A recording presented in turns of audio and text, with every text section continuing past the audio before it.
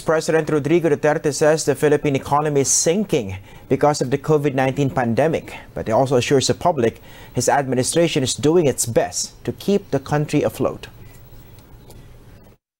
Wala tayong na pera para dyan lang kasi hindi natin alam na yung COVID dadating sa buhay natin. We are sinking deeper and deeper. Ang ekonomiya natin, mga kababayan ko, is masama talaga. Biro mo naman, ilang taong walang trabaho. Ilang, uh, the, the, the, the economy of the Philippines is really is in bad shape. Araw-araw, we are losing 2 billion na pera para sana yon sa mga tao.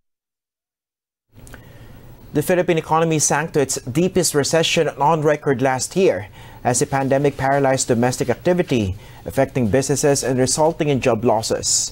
Socioeconomic Planning Secretary Karl Chua says the country is losing 700 million pesos in wages and other income each day in areas under general community quarantine.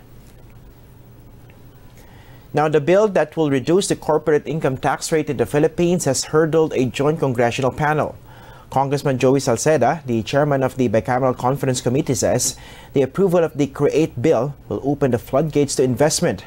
The measure, a key priority of the Duterte administration, will lower corporate income tax rate from 30% to 25% for large corporations and to 20% for small enterprises. It also allows the tax-free and duty-free importation of COVID-19 vaccines and medical devices. Salceda believes CREATE will result in some 931 billion pesos in tax savings for businesses and generate 1.8 million jobs over the next 10 years.